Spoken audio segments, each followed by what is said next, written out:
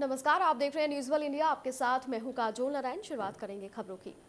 अमेठी में विधानसभा चुनाव को लेकर तैयारियाँ पूरी कर ली गई हैं। ऐसे में विधानसभा जगदीशपुर के एक सौ चौरासी में ग्राम सभा, जनापुर और पूरे दावत हुसैनी रूडगढ़ के लोगों ने अखिल भारतीय किसान सभा के बैनर तले सड़क नहीं तो वोट नहीं का विरोध प्रदर्शन शुरू किया, जिसमें अखिल भारतीय किसान सभा के जिला संयोजक आर के मिश्रा की अगुवाई में और जय किसान आंदोलन के जिला संयोजक संजय और ब्लॉक जामो के संयोजक गुलाब रसूल सलमान जफारी व तमाम लोग मौजूद रहे।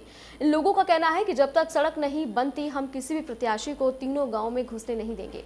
क्योंकि चुनाव का समय जब भी आता है, लोग आकर बड़े बड़े वादे करके चले जाते हैं, उसके बाद कोई पाँच साल पीछे मुड़कर नहीं देखता।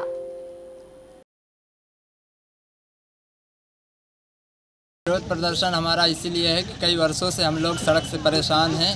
सड़क बन नहीं रही इसलिए हम लोग विरोध प्रदर्शन जताए हैं। और जब तक ये हमारी सड़क नहीं बनेगी हम सभी प्रत्याशियों का विरोध करेंगे और वोट भी नहीं देने जाएँगे। कब से आप लोग ये मांग कर रहे हैं सड़क बनाने की? ये मांग तकरीबन हम लोग पाँच सालों से कर रहे हैं लेकिन अब तक कोई सुनवाई नहीं हो रही है। हाँ, सड़क नहीं बनाता है क्या मांगे हैं आपकी? मांगे हमार बने रखता। चाहे तो वोट दिए नहीं तो मोटो न दिए भाई। कब से आप लोग इस सड़क के लिए मांग कर रहे हैं? बताओ साल भर हो गई। बरेली में 23 मिनट के भाषण में बसपा सुप्रीमो मायावती ने कांग्रेस और सपा भाजपा पर जमकर हमला बोला। इस बीच बीजेपी को जातीय धर्म के नाम पर लोगों के बीच खाई पैदा करने का गंभीर आरोप लगाती हुई नज़र आई हैं। दरअसल बरेली में मंडल में 14 फरवरी को मतदान होने हैं। इसी को लेकर अब वोटरों को अपनी तरफ़ खींचने के लिए राजनीतिक रैलियाँ शुरू हो गई हैं। इस बीच मंडल के 25 विधानसभा के प्रत्याशी दूसरे मंच पर दिखाई दिए हैं। इतना ही नहीं, जीत को लेकर भी मायावती लगातार आश्वस्त हैं और पार्टी के कद्दावर नेताओं को मंत्र देकर लखनऊ के लिए वो रवाना होती हुई नज़र आई। इस दौरान उन्होंने जमकर कांग्रेस, भाजपा और सपा पर हमला बोला।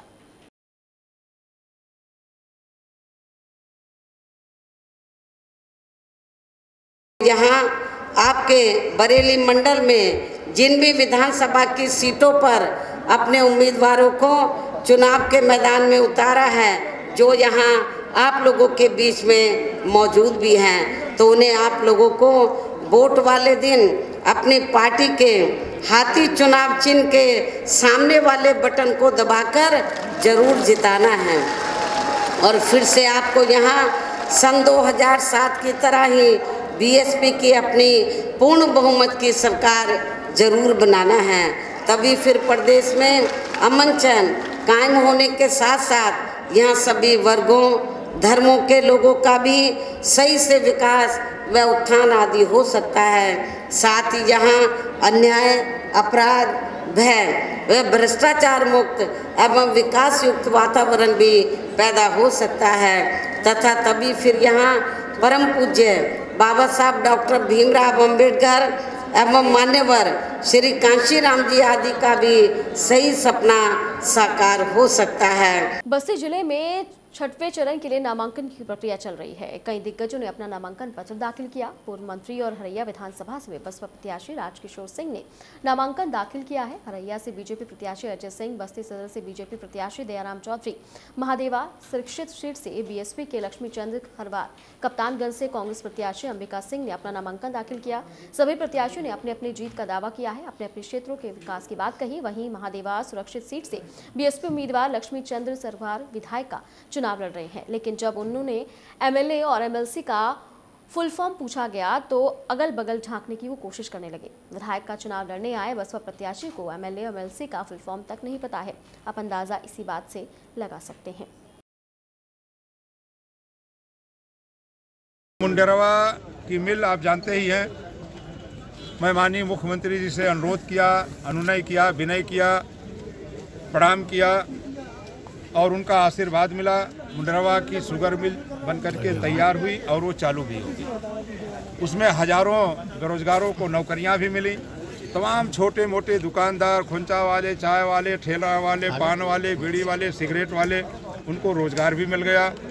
जो वहाँ की आबादी थी, व्यापारियों की छोटे मोटे व्यापारी थे सामने ही किसान मिल जा रहा है। उन्होंने कहा था, बहुत बड़े पैमाने पर गरीब, गरीबों की तरक्की करूँगा। आप गरीबी रेखा का लिस्ट उठा लीजिए, देख लीजिए कहाँ देश जा रहा है। तो ये सरकार हर मोर्चे पे बुरी तरीके से खेल हरैया के तेरह गाँव के किसान बालू खनन पूरे पाँच साल को लेकर के और चुनाव बहिष्कार पर लगे हैं। आप उनको किस तरह से आश्वस्त करेंगे? देखिए आप जानते हैं सरकार आते ही ये सब किसानों के साथ जो अन्याय हो रहा है वो तत्काल देखिएगा दो मिनट में सारी चीज़ें बंद होगी। इसके पहले भी मैं विधायक था मंत्री था और हरैया खुशहाल थी कोई किसी प्रकार का कोई कार्यक्रम नहीं था।